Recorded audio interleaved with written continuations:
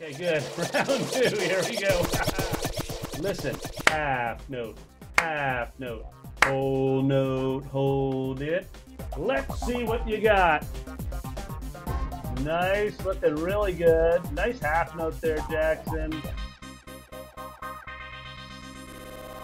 Okay, that is in fact a smiley chord. That is a major triad. Good. Hold up the face and say the chord quality. So if it's happy, we're going to say, ladies, Asia. next one. That is a scary chord. We call that chord diminished. I actually like playing diminished stuff. More to go. One, two, three, answer. And that's a third. Let me take a second here to bring in a couple of more players. They're coming from all over the planet. One, two, three, reveal. Nice. Quarter, quarter, a half note, quarter, quarter, a half.